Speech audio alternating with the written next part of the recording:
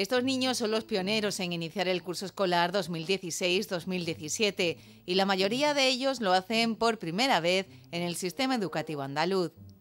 Según el delegado provincial de Educación, Juan Luis Belizón, con esta incorporación la Junta cumple con su compromiso de fomentar la escolarización temprana, concediéndole el valor que posee la educación infantil como etapa fundamental para el desarrollo de los niños en esas edades. Belizón reseñó el esfuerzo realizado un año más por la Junta de Andalucía para mantener el precio de la plaza conveniada que permanece invariable desde el curso 2009-2010. El precio continúa establecido en 278,88 euros para el servicio de atención socioeducativa si incluye el servicio de comedor y 209,19 sin él